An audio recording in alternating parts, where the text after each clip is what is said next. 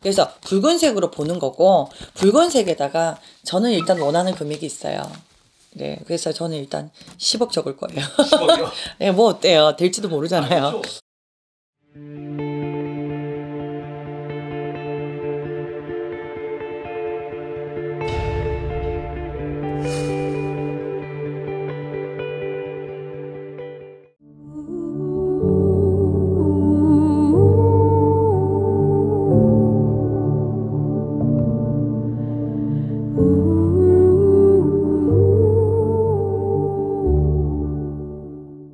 안녕하세요.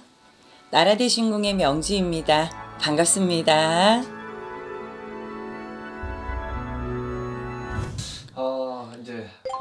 이제 많은 비방들을 보신 분들이 있잖아요. 네, 근데 이제 하면서 아, 요게 힘들다.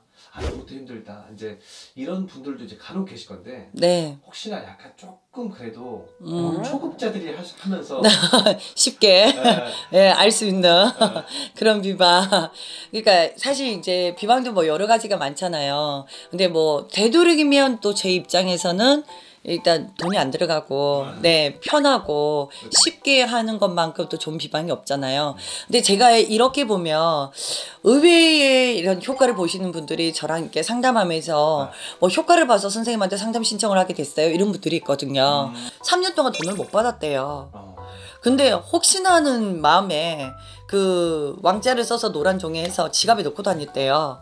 근데 그 사람이 말을 안 했는데 돈을 붙였대요. 그래서 자기는 너무 신기하고 이게 어, 효과가 있는 것 같다고. 어.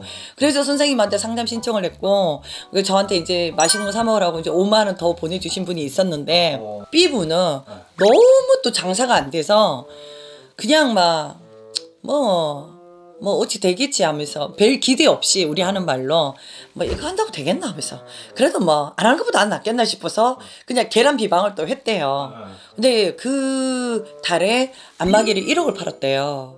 아니 안마기를 이렇게 하시는 분인데, 네. 근데 그 말씀을 하더라고요. 어. 그러니까 그 달만 잘 되고 그 다음 달부터는 안 됐다는 거죠. 어. 그러니까 마음을 아다르고 어다르고요. 어떻게 선심서자를 쓰시냐에 따라서 또 성불이 갈 수도 있고 안 갈 수도 있다라고 생각을 해요. 음, 그리고 뭔가 좋은 게 있으면 마음이라도 나눌 수 있잖아요. 꼭 뭐 돈이나 금전이나 어떤 뭐 물건이나 이런 것보다는 그래서 그런 마음을 좀 나누시면 이런 분들이 조금 성불을 오래 보지 않을까라고 생각을 하고요. 또 이제 이 비방도 마찬가지로 신령님 전에서 내려온 비방이고 사람이 살아가는데 금전 없이는 너무 힘드니까 이제 할머니가 하시는 말씀에 의하면은 이 비방을 써서 로또가 당첨이 될 수도 있고 어 막혔던 주식이 풀릴 수도 있고 어. 뭐 펀드가 오를 수도 있으며 뭐 아니면 이 사람이 이제 원했던 금전이 모아질 수도 있고 뭐 여러 가지 이유를 말씀을 많이 해주셨어요. 빨간색 이제 이거는 이제 종이가 필요해요. 빨간색 종이, 붉은색.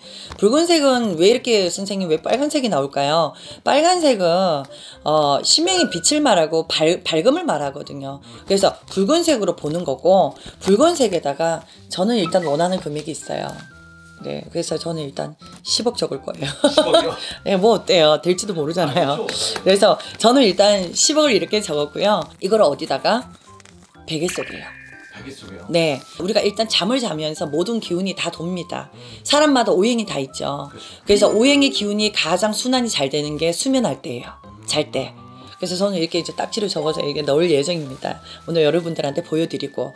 그래서 이 운이라는 게 몸으로 받게끔 해주시는 거예요. 내가 뭐 하다 못해 뭘 하시든지 간에 소소한 것 작은 것 하나도 내 운이 있어서 금전이 들어오고 마르지 않도록 이제 신에서 받들어 주시는 거예요. 그래서 이거는 잘 때 쓰시는 비방이고 기간이 있는 건 아닙니다. 음. 예, 뭐 이거 한 달 했는데 효과가 없어서 바꿀까요? 아니요.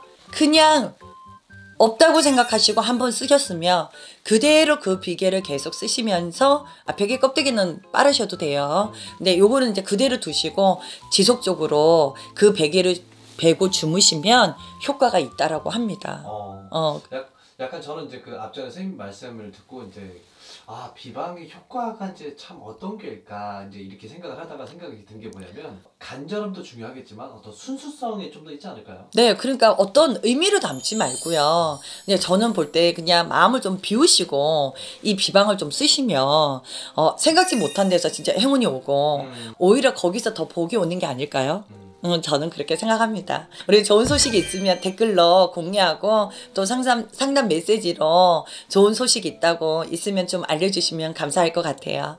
음, 오늘은 여기까지 할게요. 감사합니다.